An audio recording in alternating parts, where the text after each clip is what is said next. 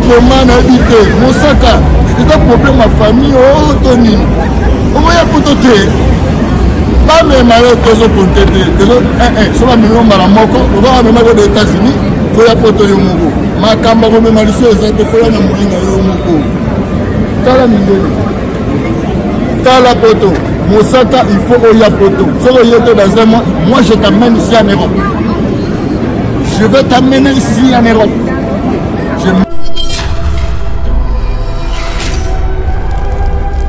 Voilà. Donc tu comptes le mot comme ça, 69 ans, quand on a dit ça. olembi pondu olembi nini ya majoto olembi komona eh, mai ya makelele misa mosaka komona mindela boye mikolo nini o eh, vraiment donc mosaka napesi yo un eh, mois soko ye na makasi na yo te moi je t'amène vraiment baomemi oso bamemi ekokonte te parce que biso nyonso mbala moko mbala moko bamemi yo mbala moko mosusu yo kokei osi ici à bruxelles je dis bien à bruxelles bakali nazoya paris nazoya kozwa yo na kina bozonga kisasa esi mpe kokoma kosolola na patron na biso le grand mokao bien okoma bedaya kosolola bien donc ozozonga tokende canada kokimela mpe na canada vous allez fuir aussi au canada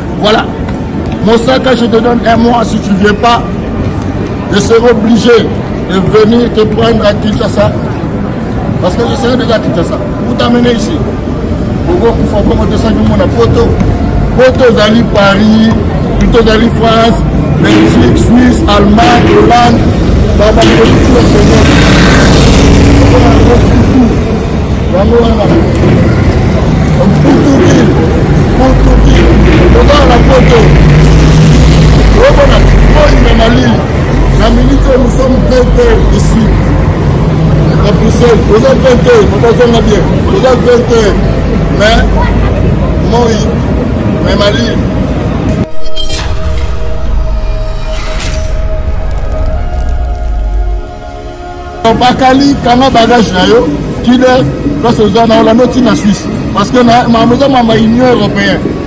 naye ozwa bino ozozonga kisasa tozwi mpe deja bacontra ya bacanada ya baétats-unis bozokende états-unis donc voilà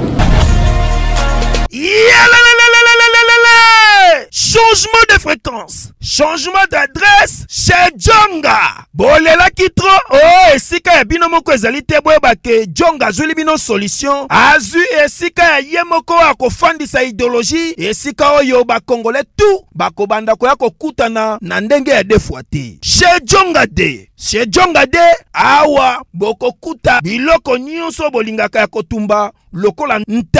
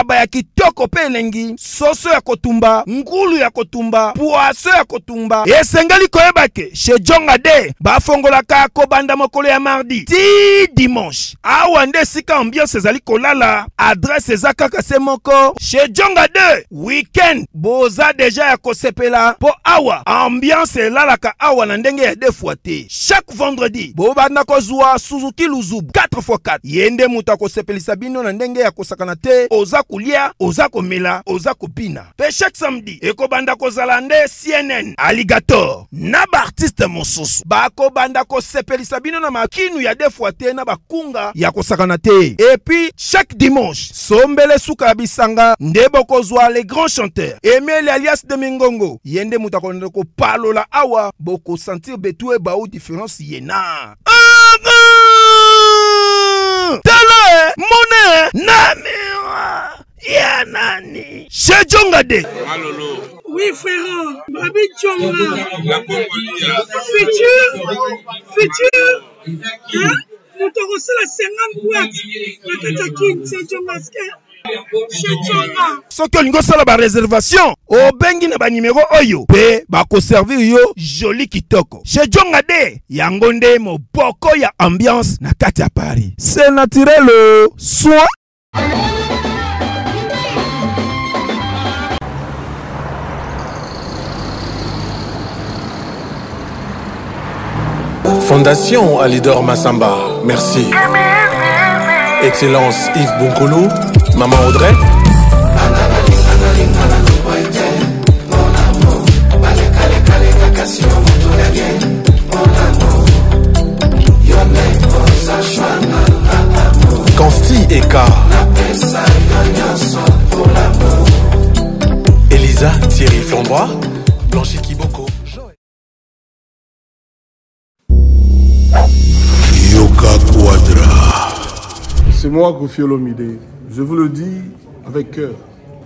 Si vous voulez aller de Bruxelles à Paris, de Paris à Bruxelles, aujourd'hui, il y a un moyen que vous devez soutenir. Et un moyen que moi je vous recommande, ça s'appelle Neo Tam Tam. C'est fait de main de maître par un Congolais digne de ce nom. Moi j'ai fait l'expérience je peux vous dire que l'expérience a été concluante. Donc désormais et dorénavant, pour vos déplacements, si vous voulez faire venir quelqu'un de Paris à Bruxelles, Néo Tam Tam. Déjà, c'est notre devoir dans la diaspora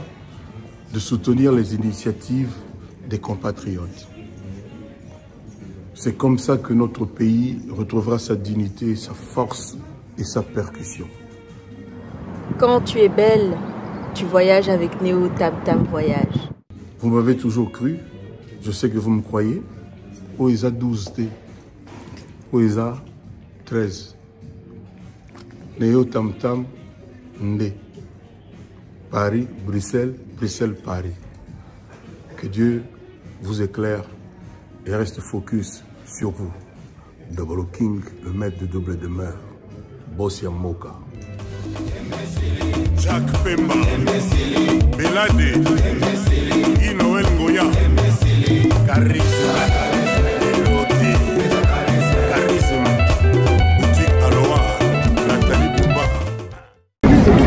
donc nayebi te kua nayebi te nalembi nalembi donc bakali ekile prépare vos valise tozozonga kisasa donc naye kozwa bino nyonso bato bokima parce que bokoma deja kosolola bien non namona place bareproche bino te bokimi mpo na nini osali mabe bareproche bino te nini te première fois na esalama te boma osolola bien donc ngai naye ozwa bino etanke na minute oyo naza ambassadeur na kati ya etat schengen mobimba naye kozwa bino tozozonga kisasa mpo batya bino na liste ya canada vous allez partir au canada monsieur avec nous on partira avec vous au canada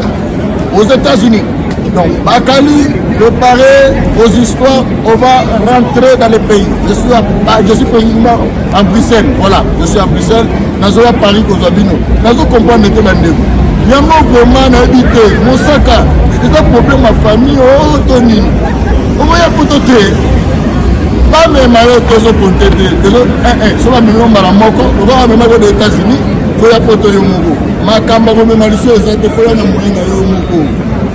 tala mindele tala poto mosaka il faut oya poto soki oye te dans un mois moi je t'amène ici en europe je vais t'amener ici en europe je mets les moyens je t'amène ici voilà donc tikoto moko kisasa 69 ans kaka kono na kisasa olembi pondu olembi nini ya majoto olembi komona eh, mai ya makelele misa mosala omona mindela boye mikolo nini o vraiment donc mosaka napesi yo un mois soko oye na makasi na yo te moi je t'amène vraiment baomemi oso bamemi yo ekokonte te parce que biso nyonso mbala moko mbala moko bamemi yo mbala moko mosusu yo kokei voilà me bakali arrete kokwataki je viens vous prendre le boss du david mangaya très puissant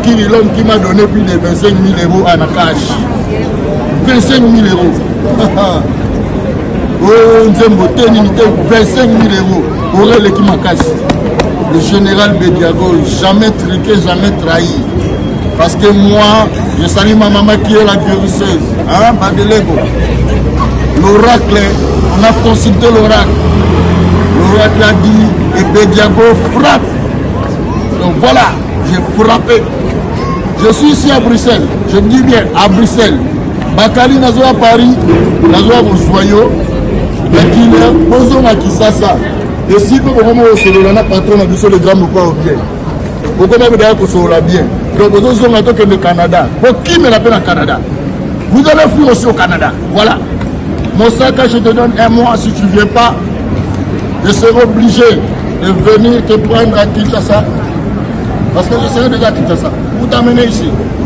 Bobo kufa bongo tosaki ngo na poto. Poto ezali Paris, plutôt ezali France, Belgique, Suisse, Allemagne, Hollande.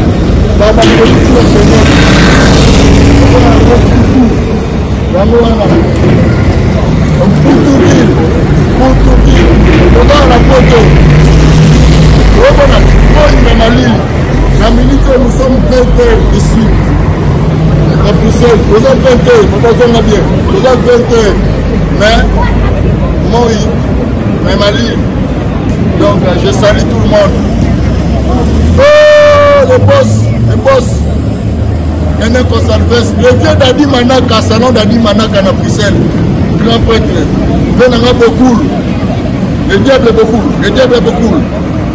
tosali tosali ya bato yaka bamemi yo moko okepe yo moko bakali kanga bagage na yo kile place oza na olanda oti na suisse parce que mama eza mama union européen naye ozwa bino bozozonga kisasa tozwi mpe deja bacontra ya bacanada ya baétats-unis bozokende états-unis Donc voilà, message nazali nango yango wana nayebisi na minute oyo dadi manaka sano dadi manaka grand prêtre dadi manaka azotala ngai ve na ngai le diable le diable bokul ayebi baaffaire oyo le grand prêtre le diable bokul barajab dwani donc bato tu balingaka leta moko awo mpe bambote ebele okompare donc na minute eza oyinga na okota paris Donc, mpe na nga bruno matadi hey, je sali un désordre bernard tapie sis komulongo il était ici avec moi sis komulongo e akeyi dixon kabasu hmm. je sali dixon kabasu dixon kabasu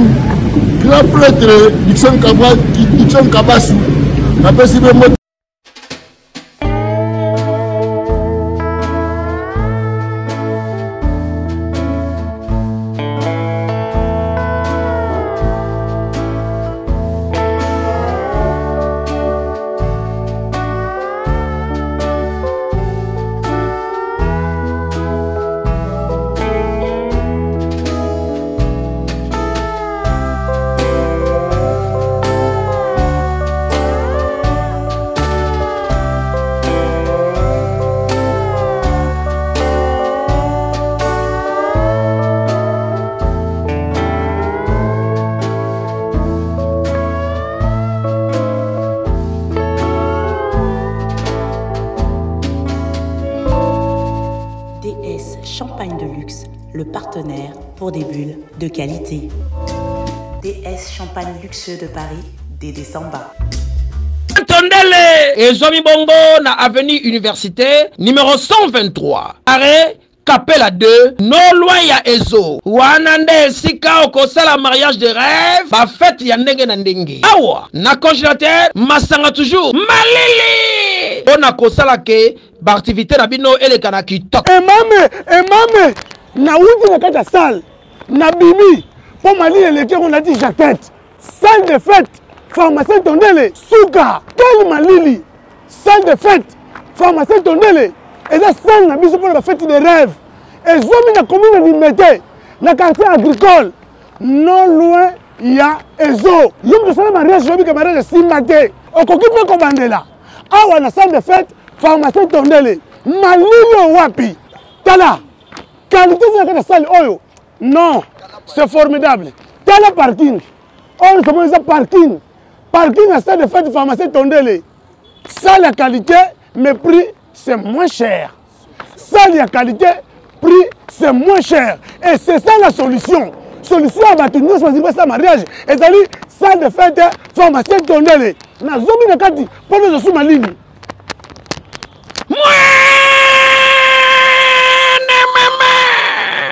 awa baservice nyonso ezali très efficace Yeba ke meme mpo na bafoto, image, video nionso ezali kaka awa tango ozobima na salle lobi na tongo oza na ba image na yo mobimba. Mokolo ya libala na ngai salle de fete pharmacien tondele ou rien oyo yango nde reference ya lelo mpo na ba kinois eyokani. Mwee!